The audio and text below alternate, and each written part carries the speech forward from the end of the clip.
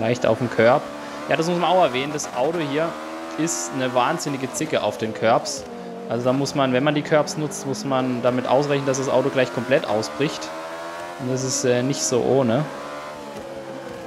Da muss man da schon ein bisschen aufpassen. Oh mein Gott, da komme ich auf den drauf.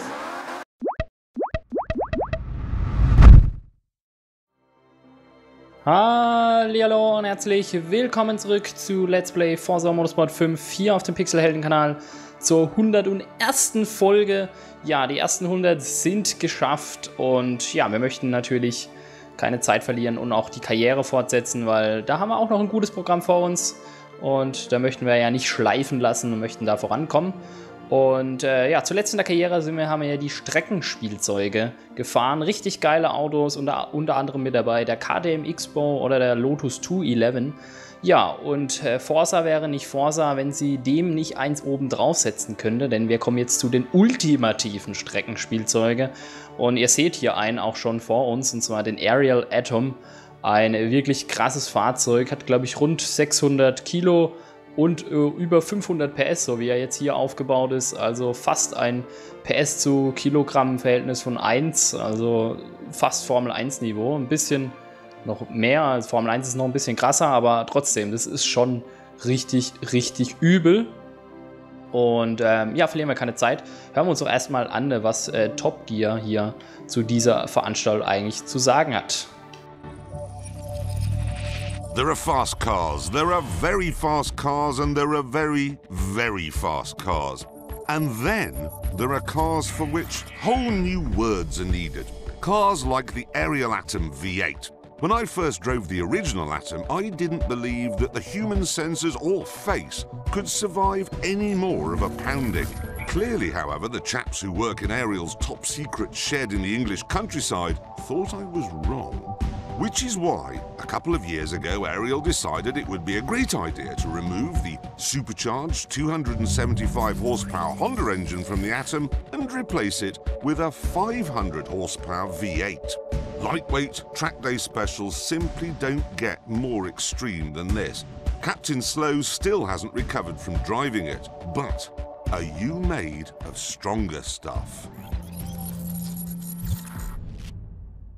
Jawohl, aus härterem Holz müssen wir wohl geschnitzt sein, wenn wir uns in dieser Kategorie bewegen wollen, weil äh, die Fahrzeuge haben es in sich. Und äh, kurz auch bevor wir ins erste Rennen springen zur Erläuterung im Vergleich zu diesen normalen Streckenspielzeuge. Ähm, die sind auch vom Gewicht her sehr ähnlich wie diese hier. Allerdings ähm, haben sie deutlich mehr Leistung. Wie gesagt, das Verhältnis geht dann schon in die Nähe von 1 zu 1, also PS zu Kilogramm.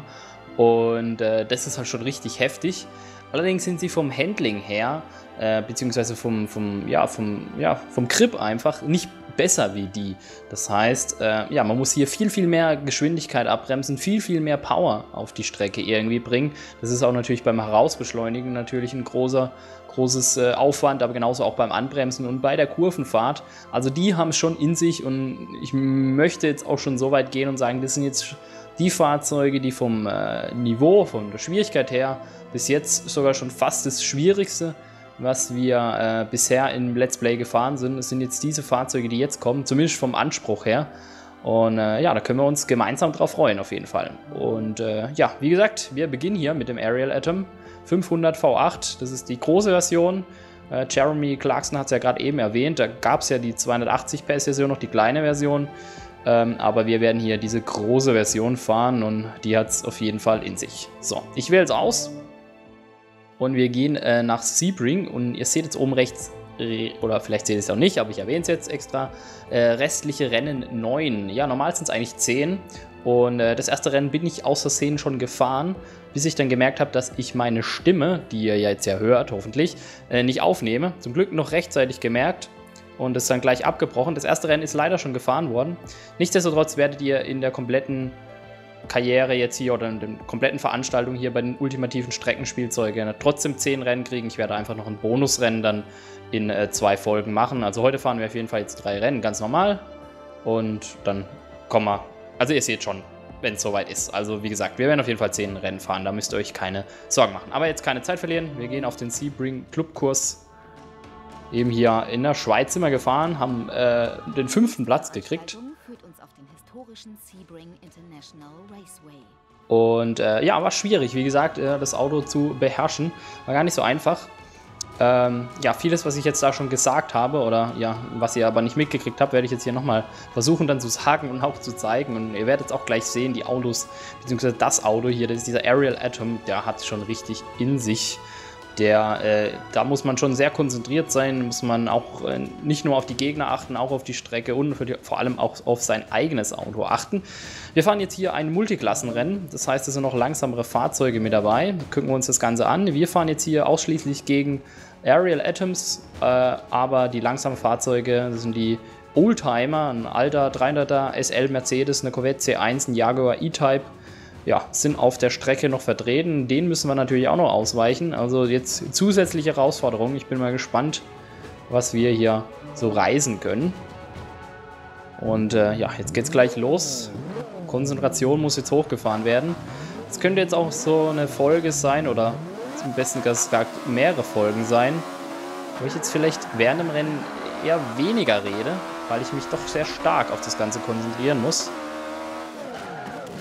Ja, hier gibt es auch schon die erste Berührung. Ihr merkt schon, das ist schon ein ganz anderes Niveau hier. Boah, muss man echt aufpassen. Als kleiner Tipp gleich zu Anfang, achtet auch unten rechts auf die Telemetrie, wie ich mit dem Gas und der Bremse spielen muss bei diesen Fahrzeugen. Das ist nämlich gar nicht so ohne. Gerade äh, Vollgas geben ist hier nicht immer gerade möglich. Das ist echt nicht so einfach. Das Niveau ist hier bei den Fahrzeugen schon krass. Jetzt komme ich ein bisschen quer, das wird gleich ausgenutzt. Ist hier ganz eng. Das Brutale ist halt die Beschleunigung. Also man kommt hier so schnell auf eine hohe Geschwindigkeit. Das ist äh, echt der Wahnsinn. Da werden die, Gera die, die, die, ja, die geraden Strecken sind, kommen auf einmal einem richtig kurz vor. Da kommt schon wieder der nächste Bremspunkt. Das ist nicht so ohne.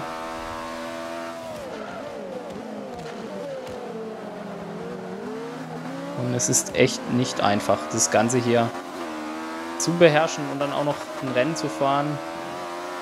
Also ich glaube, allein das Auto allein auf der Strecke zu bewegen, ist Anspruch schon genug. So, jetzt versuche ich jetzt hier mal so innen rein zu bremsen. Sonst komme ich ja hier nicht mehr weiter nach vorne. Strecke bietet eh nicht so über viel Überholmöglichkeiten.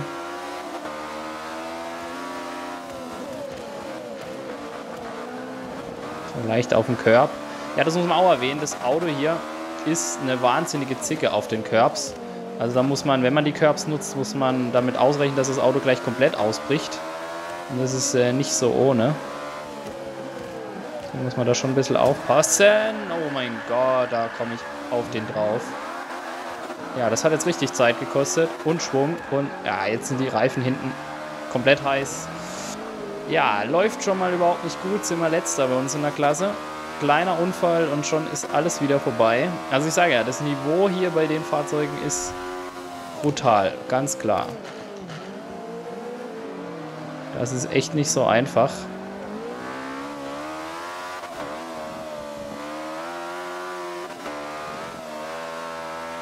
Gucken wir, dass wir da wieder irgendwie rankommen.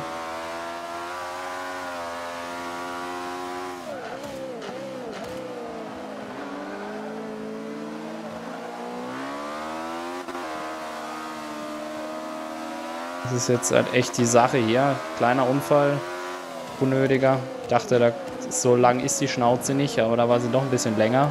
Bin ich in den Vordermann gecrashed. Sehr ärgerlich. Ja, hier die Kurve ist auch sehr eng.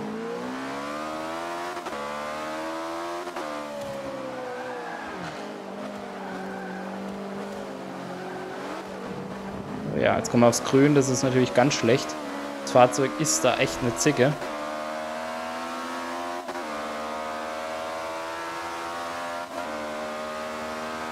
Und auch die Bremspunkte sind nicht so einfach einzusehen bei dem Fahrzeug, weil das alles relativ schnell geht. Also es ist im Vergleich zu den anderen Streckenspielzeugen die haben dort richtig noch Spaß gemacht. Hier ist es dann schon ein harter Kampf. Hier ist es einfach nur krass, was technisch möglich ist, beziehungsweise was Gewicht und Leistung im richtigen Zusammenspiel ausmachen. Aber äh, ja, mehr auch nicht, weil fahrerisch sind die einfach krass. Gerade dieser Aerial Atom ist hier echt heftig äh, zu fahren. Ihr seht, wie schwer ich mich tue. Sieht, glaube ich, schon fast aus wie so ein Anfänger, was ich hier zusammenfahre. Kommen hier auch noch ein paar langsamere Fahrzeuge dazu. Kann ich jetzt den einen oder anderen Platz hier noch gut machen. Wünschenswert wäre es ja. Aber ja, siebter Platz müssen wir uns damit begnügen. Das war jetzt hier keine so gute Leistung. Oh, sechster Platz haben wir noch geholt.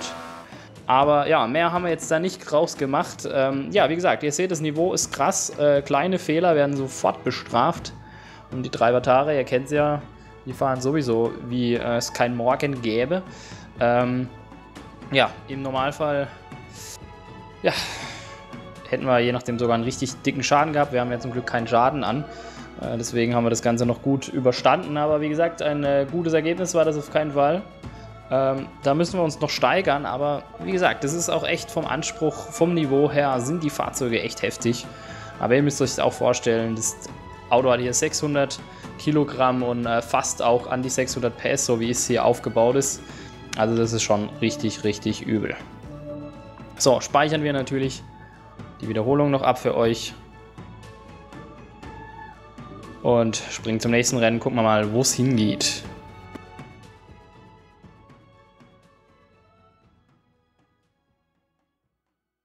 Als nächstes wartet erneut eine Veranstaltung auf dem englischen Silverstone Circuit auf uns.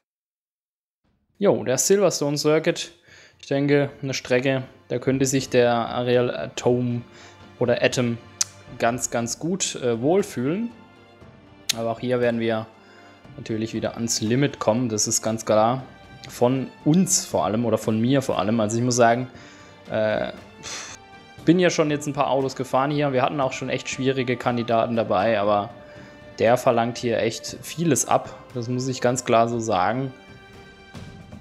Gerade hier im Let's Plays finde ich sehr, sehr schwierig. Äh, Gerade durch das gleichzeitige Reden noch. Hier sehen wir auch noch, was für Konkurrenz wir noch dabei haben. Wir haben noch einen Radical SR8 und ein Ultima GTR 720 mit am Start. Das sind auch zwei ganz üble Fahrzeuge.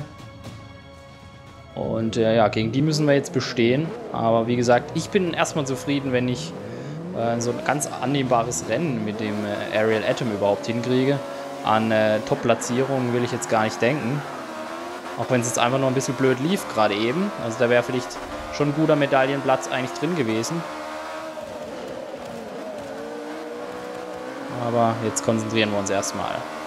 Vielleicht jetzt hier auf der englischen Grand Prix-Strecke können wir vielleicht was reißen. Wie gesagt, vom Grip, beziehungsweise ja, von der Kurvengeschwindigkeit, die wir mit den Autos erreichen, sind wir da nicht viel schneller. Wenn überhaupt gar nicht schneller wie äh, die normalen Streckenspielzeuge, also KTM X-Bow oder Lotus 211. Aber von der Topspeed und von der Beschleunigung ist es natürlich ein ganz anderes Niveau. Und das merkt man auch. Das kommt ziemlich weit raus. Hier auf die Curbs, das ist gefährlich. Hier mit diesem Auto. Das muss man einfach nochmal dazu erwähnen. So. Bis jetzt aber sieht es noch alles ganz gut aus.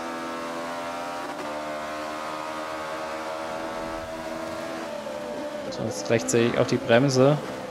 So, zwischendurch schleusen. Kommt ein bisschen das Heck. Muss mal aufpassen.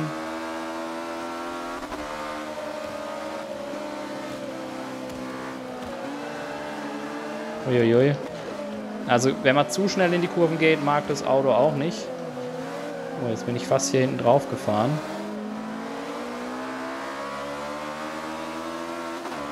Boah, der zieht jetzt direkt vor mich mal vorbei hier.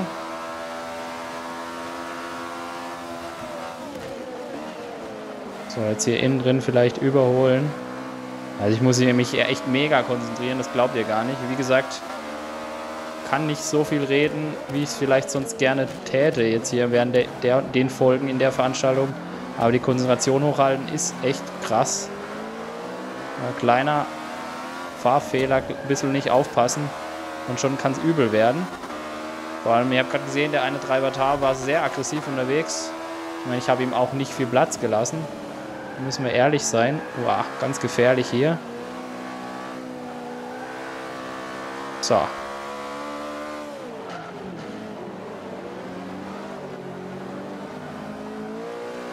Ihr merkt schon, ich fahre auch viel in bisschen höheren Gängen, einfach um die Räder gerade beim Rausbeschleunigen nicht gleich durchdrehen zu lassen.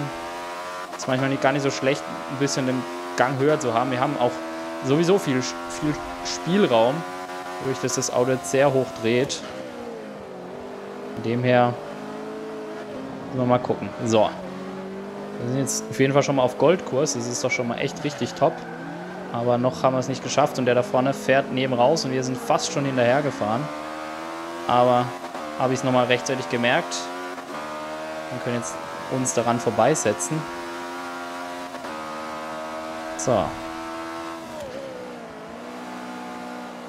Fünfter Gang runter. Zweiter Platz. Alles ganz gut aus.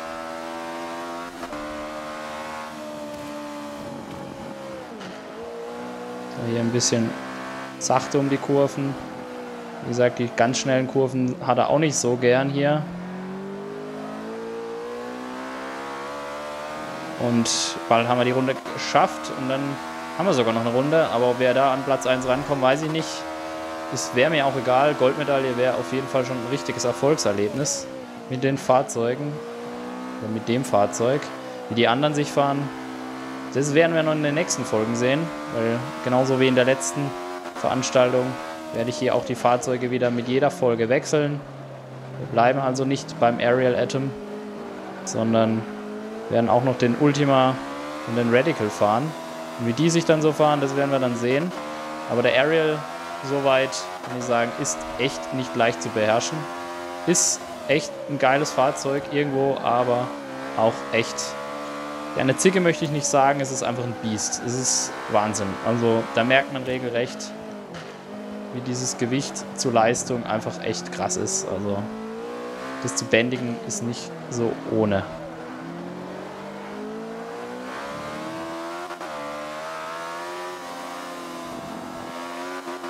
So. Wir sind aber schon mal näher ran an Platz 1. Also vielleicht könnte es ja noch was werden. Aber wie gesagt, Platz 2 wäre mir auch schon viel wert. Jetzt sind die Reifen ein bisschen blockiert. Beziehungsweise die Bremse. Aber wir sind dran auf jeden Fall. Nur keinen Scheiß bauen. Das Rennen wegschmeißen, das haben wir auch in letzter Zeit schon öfters mal geschafft. Ein dummes Fahrmanöver.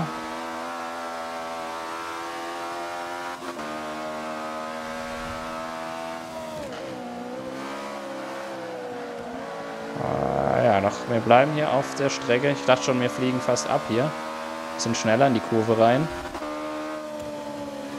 als ich zunächst wollte. Oh, jetzt kommen wir richtig nah. Ran müssen wir aufpassen, dass wir da nicht in eine Kollision geraten.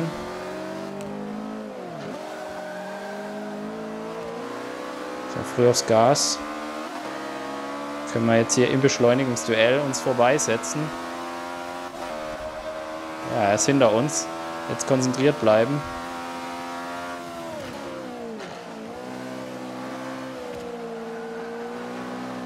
Ganz eng am Körb. Ja, aber auf der Strecke läuft es anscheinend ganz gut mit dem Aerial Atom. Die drei Runden Renndistanz war jetzt auch gar nicht so schlecht. Also für zwei Runden wäre es wieder, finde ich, zu kurz gewesen. So konnten wir jetzt eigentlich ein schönes Race erleben. Lief jetzt aber auch nahezu fehlerfrei. Und ja, wunderbar, liebe Leute. Da schaffen wir es tatsächlich, dieses Fahrzeug auf Platz 1 zu bewegen. Und ich muss schon sagen, ich komme hier schon richtig ins Schwitzen. Also, das Niveau mit den Fahrzeugen ist echt krass. Und ich bin echt, echt mal gespannt, wenn wir später in der Karriere dann noch äh, wirklich zu den Indycars oder zu den Formel 1 Autos kommen. Ich glaube, da wird das Ganze nochmal noch krasser. Äh, aber das ist schon mal auf jeden Fall ein gute, guter Vorgeschmack, was da auf uns zukommt. Das ist ganz, ganz klar. Ja, und ein Rennen fahren wir jetzt noch. Und dann bin ich mal gespannt, ob wir nochmal in eine Goldposition kommen. Das wäre ja schon echt phänomenal. Jetzt speichern wir erstmal das Video natürlich ab.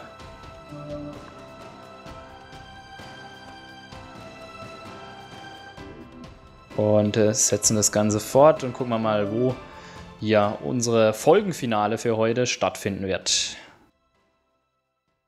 Geht zurück nach Abu Dhabi auf den Yas Marina Circuit, der Heimat des großen Preises von Abu Dhabi. Ja, der Yas Marina Circuit, den Südkurs werden wir fahren. Da bin ich mir sicher, dass wir dann auch wieder kein Rennen, sondern eine Veranstaltung fahren werden. Dann bin ich ja mal gleich gespannt, was auf uns warten wird, tut.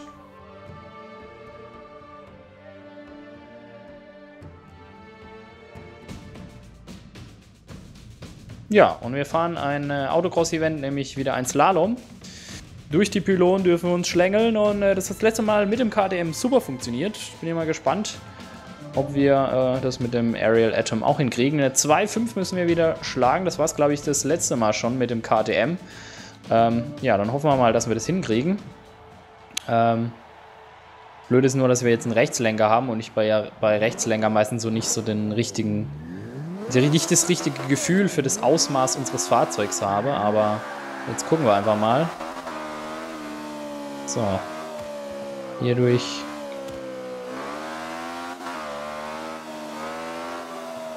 Bis jetzt passt das alles ganz gut.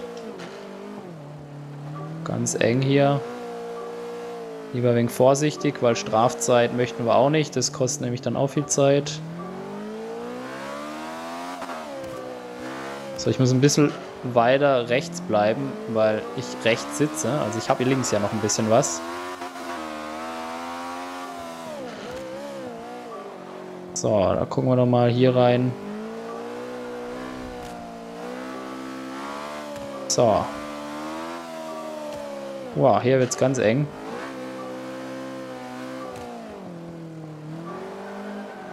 Und da lang. Uiuiui. Hier durch. Hier wird es immer enger. Ich traue mich gar nicht so schnell hier durchzufahren, ehrlich gesagt. Aber wir müssen uns schon ein bisschen beeilen. Von der Zeit her könnte es sonst ein bisschen eng werden. Regelrecht das Slalom. Nein, hier müssen wir hier noch durch. Jetzt kam erst der Richtungswechsel. Jetzt hier durch. Uiuiui. Ja, wir haben es fast geschafft, meine lieben Freunde. Von der Zeit her sieht es ganz gut aus. Jawohl. Und durchbeschleunigt durch Start und Ziel. Also, wunderbar. Hat auch geklappt. Mit Vorsicht haben wir trotzdem die Goldzeit ganz gut geschlagen. Ich glaube, 1,39 hatten wir jetzt. 1,25 haben wir gebraucht. Kein äh, Tor kaputt gefahren. Durch alle gut durchgekommen. Also dem her, ja, wunderbar. Hat auch geklappt. Ja, und damit sind wir eigentlich auch schon, am Ende von der Folge. Drei Veranstaltungen sind wir gefahren. Ähm, ja, genau. Und dann würde ich sagen, sehen wir uns nächste Folge schon wieder. Ähm, und zwar werde ich dann, wie gesagt, ein anderes Fahrzeug nehmen, entweder den Radical oder den Ultima. Das sehen wir dann noch. Und beziehungsweise ihr werdet es sehen in der nächsten, spätestens in der nächsten Folge, wisst ihr dann Bescheid. Und ähm, ja, da würde ich dann einfach mal sagen, äh, sehen wir uns nächste Folge wieder alle die Ohren steif und äh, ja, bis dahin muss ich meine Konzentration wieder ganz, ganz hochschrauben, weil mit diesen Fahrzeugen muss man auf jeden Fall auf der Hut sein. Also, bis dann, euer Ray. Ciao, ciao.